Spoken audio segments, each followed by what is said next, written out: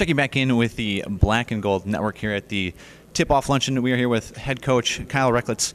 Coach, days quickly arriving, just a, what a week away from the start of the real season. Yeah, a week away, and we uh, we will have 30 practices under our belt, a scrimmage and uh, exhibition game. So can't wait for that home uh, first game against Chicago State, and then the home opener a few days later.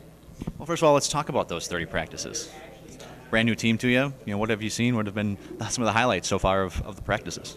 Well, I would definitely say the highlight is that they play with a lot of heart. You know, every drill that we do, they're they're trying to get better. They're doing everything they can to um, elevate our team and put us in a position to be competitive.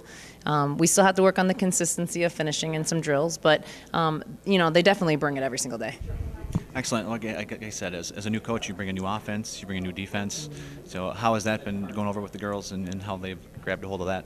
Well, it's been a lot of learning. Uh, we're trying to get in as much possible before we play uh, at Chicago State on November 9th. But it's you know it's everything is new to them. Our, our defensive system, our offensive system, how we want to transition the basketball, uh, it's all brand new. So it, I have to have some patience in it because I know it's not going to look perfect. Uh, but hopefully, we'll have it perfect for conference.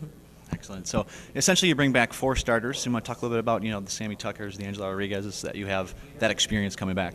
Yeah, our leadership has really stepped up. Uh, we have Angela Rodriguez as the two guard, um, and she's been shooting the ball tremendously. Her confidence is up. Uh, she's been looking to score the ball more, which has been very exciting for us. Uh, Sammy Tucker is our workhorse. I mean, she just game in, I mean, day in, day out, she just plays as hard as she possibly can.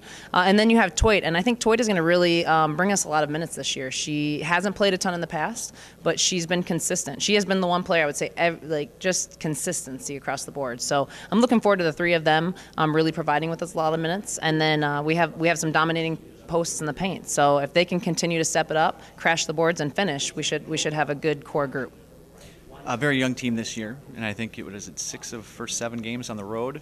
How do you approach that? Does that you know, how does it affect uh, the game plan going in? It doesn't affect us. We, we, we take every game the same, you know, whether we're on the road or at home. I, I have to admit, we're looking forward to our first game at home on November 14th against Western Michigan. But um, each game, you know, is a chance to come out and compete. And we always talk about, you know, did you give your best? Um, for those 40 minutes, and you know we'll evaluate after each game whether you know we brought it, win or lose. It's whether we brought it as a team. So when it does get a chance for this to have our first home game and the fans come out to see your team, what are they going to you know take from that game when they, after the, the game is over? Well, hopefully they'll leave with a sense that that we have a great team effort. You know, everybody comes together and, and that we're constantly bought into each other. Uh, they'll also see a fast paced game. We're going to transition. Uh, we're also going to pick up our defense with some denial. So I think the atmosphere is going to be really good. It's going to be exciting to watch, and you'll see a lot of energy and enthusiasm coming from our bench and on the court. Excellent. Then one final question for you. It's been about five or six months since you've taken over the position. how's Milwaukee been treating you? Oh, Milwaukee's been great. Uh, you know, bringing my husband and, and my daughter here um, so he could be closer with his family has provided us with a great support system. Uh, and the community has been so supportive. I mean, I've had, uh, you know, lots of lunches with fans and boosters, and it's just been great to get to know everybody around the Milwaukee area. Well, excellent. Well, thanks for your time today and good luck. Yeah, thank you.